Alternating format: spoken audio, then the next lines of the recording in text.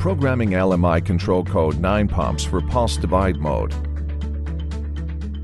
The pulse divide function allows input pulses from an external source to be used to pace your LMI pump.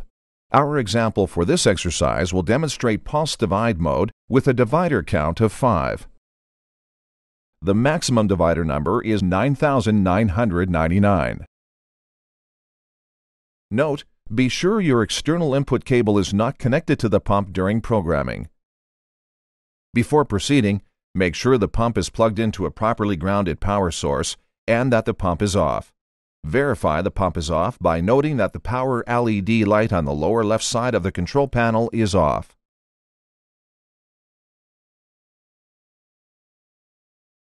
Begin programming by pressing the mode key. The control mode symbols will appear on the graphical display.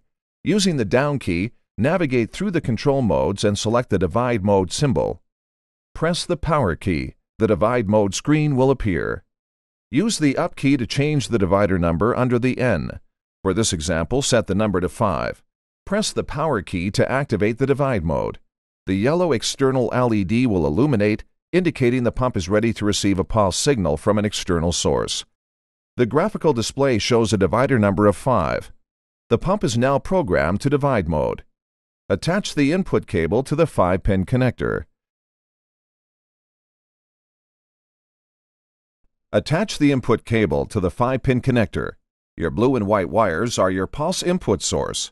In this example illustration, the blue and white wires would be connected to an external source, such as a flow meter. As water flow increases, the flow meter pulse output increases. With the pump divider number already programmed to 5, the pump will stroke one time for every 5 pulses received from the flow meter.